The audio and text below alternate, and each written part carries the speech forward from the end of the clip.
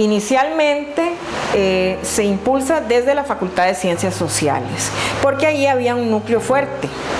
Estaba doña Mirta, estaba Tita Escalante, la decana era doña Cinia Méndez, que también estaba comprometida, o sea, había un núcleo grande ahí en, en la facultad, había también otro núcleo en letras, había otro núcleo, pero era como más pequeñito en matemáticas, entonces eh, se logra, donde se logra negociar la instalación del programa, que eso se dijo es temporalmente, mientras logramos encontrar, ¿verdad?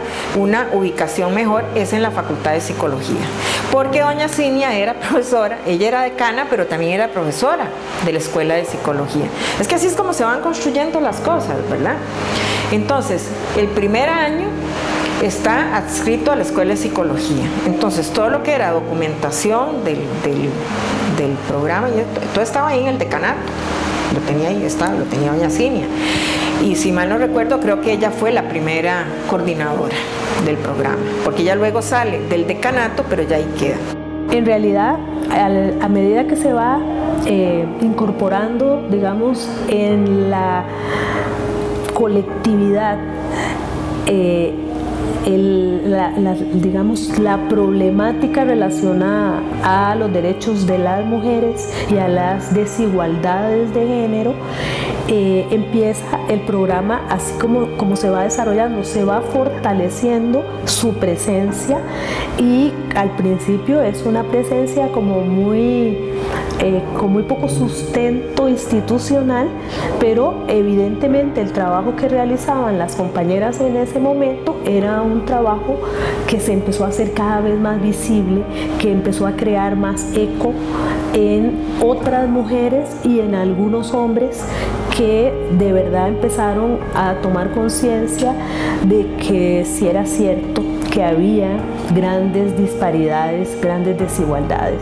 Fue la primera instancia dedicada exclusivamente a los estudios de género, en aquel momento eh, muy importante en la vida universitaria, en la investigación del país ya no eran proyectos aislados de investigación o inquietudes de personas que querían ahondar un poco y profundizar, sino que la Universidad de Costa Rica se compromete institucionalmente a crear una instancia, un programa que articule los esfuerzos dispersos.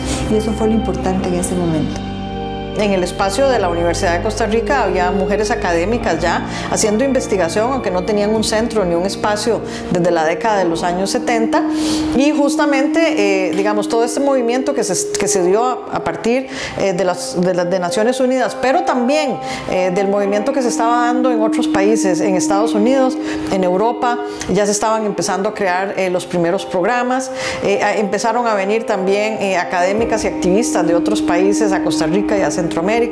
Centroamérica era una época complicada en ese momento, pero entonces empezaron también a venir a hacer estudios y todo esto sirvió para presionar eh, a la Universidad de Costa Rica y el reclamo básicamente es un reclamo similar al que se hace ahora para nuevas cosas. Esta es una institución pionera esta es una institución que en su estatuto orgánico planteó un compromiso con el bien común. Esta es una institución que desde el tercer Congreso Universitario planteó la necesidad de acercarse a las comunidades. Entonces la pregunta era, ¿y dónde están las mujeres? ¿Y qué pasa con las mujeres? ¿Y por qué la universidad no tiene un programa específico eh, que atienda no solo las necesidades de las mujeres, sino las demandas de investigación, de contar con datos, eh, de contar eh, con nuevas propuestas? y de allí, digamos, surge este, este primer intento que fue el PRIEG.